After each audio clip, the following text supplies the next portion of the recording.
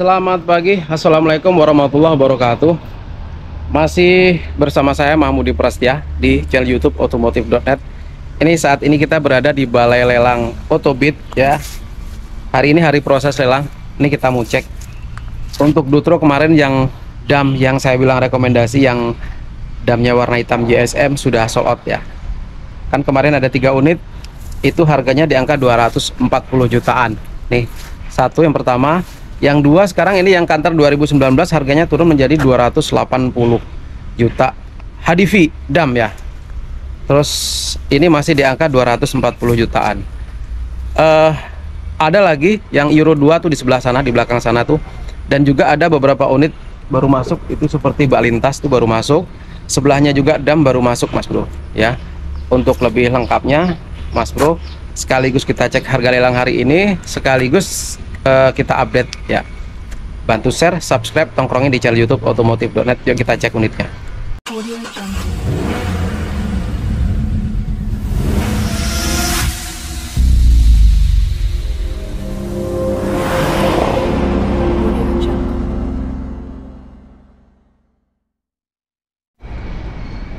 Masih di channel yang sama di otomotif.net ini kita gerbek balai lelang ya seperti biasa setiap hari Senin ada dua tempat ada di Otobit dan Karedi. Dan sekarang kita berada di Otobit. Untuk passenger nanti ya kita cek. Lumayan banyak yang dilelang untuk hari ini passenger. Tapi yang saat ini yang kita lihat untuk truk. Ya untuk truk. Jadi untuk truk sekaligus update sekaligus cek harga mobil yang dilelang untuk hari ini. Jadi kalau untuk penambahan unit kayaknya nggak ada. Ada penambahan unit cuman belum dilelang Maksudnya penambahan unit yang sudah dilelang hari ini tidak ada, tetap masih unit yang kemarin Mas Bro. Nah, nanti kita coba cek satu persatu. Ini barisan ini ini penambahan ya, cuman belum lelang Mas Bro nih. Nah, ada beberapa unit yang mungkin baru masuk sih ya.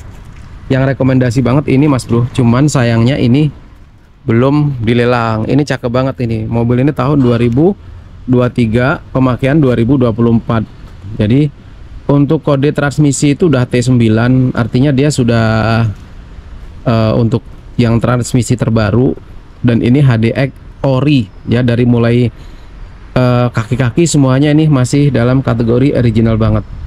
Nah pokoknya siapkan aja lah uang di angka 300 lebih ya. Kalau unit seperti ini biasanya terjual tuh di angka 330-an estimasinya seperti itu kalau Mas Bro ada-ada di angka segitu nanti ketika ini keluar harga boleh langsung digas Mas Bro. Karena estimasinya memang di harga di harga segitu. Biasanya yang saya uh, titipan dari orang-orang ya. Di belakang juga itu dam truk juga cuman itu udah lama banget di sini. Belum uh, keluar harga sampai saat ini. Nah kita mau lihat sekarang Dutro. Dutro ini tahun 2022 harganya 235 juta. Dan artinya dari harga yang kemarin itu sudah turun banyak ya. Dari 250 juta sekarang 235 berarti dia turun di, di angka 15 juta. Tapi ini yang uh, baknya bak mati. Yang X power baknya bak mati. 136 HD generasi euronya dia euro 4 ya baknya bak mati kondisi unit dalam kategori memang masih terawat. Dan untuk pajaknya kalau nggak salah ini dari kayaknya masih hidup ini mas bro. Ya bulan 11 ya ini unit yang pertama. Terus lanjut kalau ini belum. Terus unit yang kedua yang ini.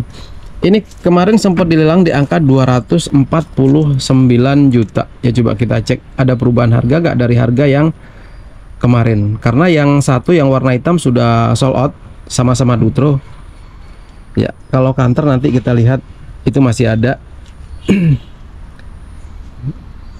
Nah yang ini harganya tidak berubah masih tetap di angka 249 dan untuk pajaknya itu uh, mati bulan September 2023 kemarin yang tengah ada yang warna hitam cuman yang warna hitam sudah terjual ya sudah sold out. Ada tiga kemarin berjajar dan yang di sebelah sini kemarin ada kantor tapi kantornya yang tahun 2019 dipindah di tengah. Yang kemarin saya bilang harga rekomendasi yang warna hitam ternyata sudah sold out di angka 200 sekian lah. Karena ketiganya kemarin harganya udah tempel aja. Ketiganya kemarin eh, harganya itu ranknya nggak jauh beda. Masih di angka 240 jutaan juga. Ya terus di sebelahnya Mitsubishi Canter tahun 2019 ini di angka 280 juta rupiah.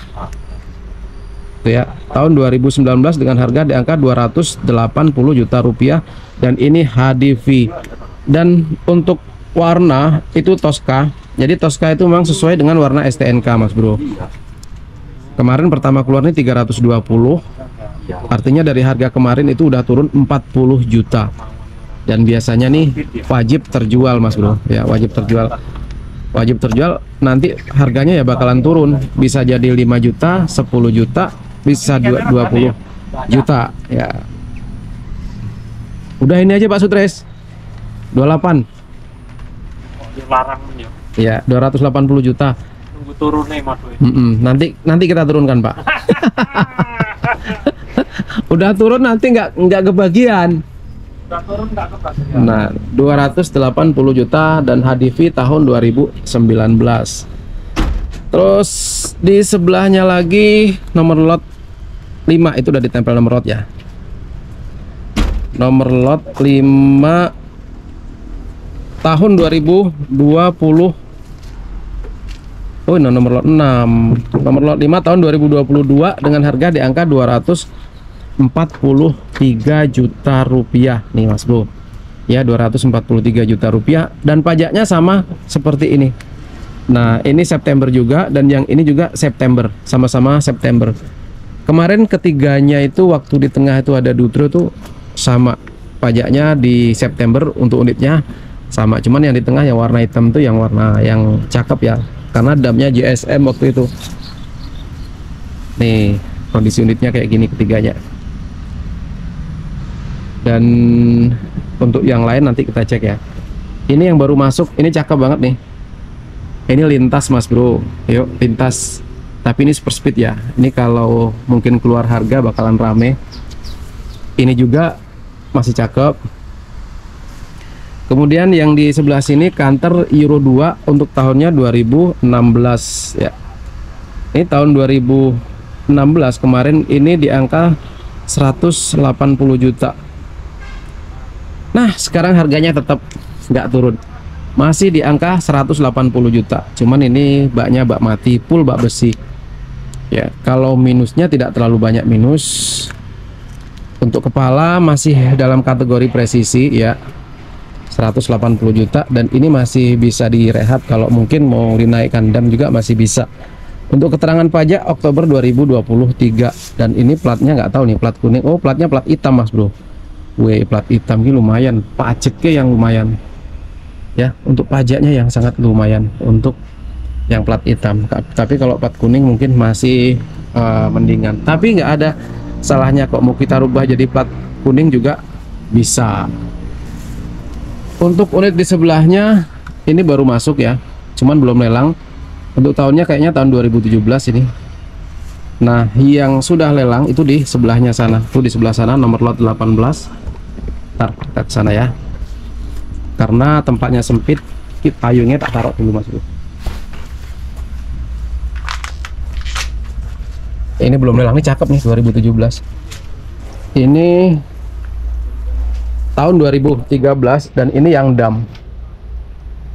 Ini 155 juta tahun 2013. Ban belakang itu hanya ada dua ya. Nah, kayak gini. Biasanya kan bannya 6. Nah, seperti ini kan rangkap dua. Tuh, bannya rangkap dua. Ini cuma satu-satu deh, kiri kanan satu-satu semuanya. Sasis aman. Dam tahun 2013 cuman damnya sudah banyak keropos. Interior juga kayak gini. 155 juta perlu perawatan yang lumayan ya. Terus di sebelahnya ada Isuzu NMR. Kayaknya tahun 2022. Nomor lot 7.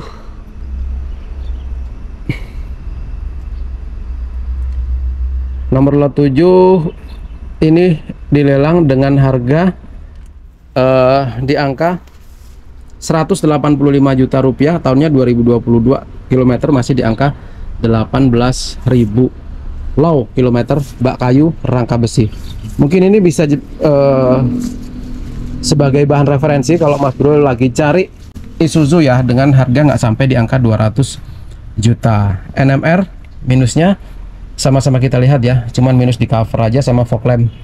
Kalau bumper Isuzu emang bumpernya bentuknya kayak gini Mas Bro. Ya lanjut di sebelahnya nomor lot 15 ini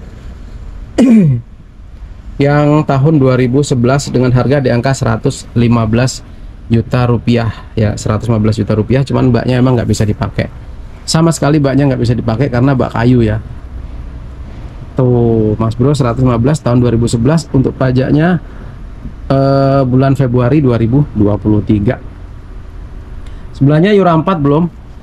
Nah kemudian yang ini HDL kita lihat dari depan ya yang HDL nih. Kita lihat dari depan.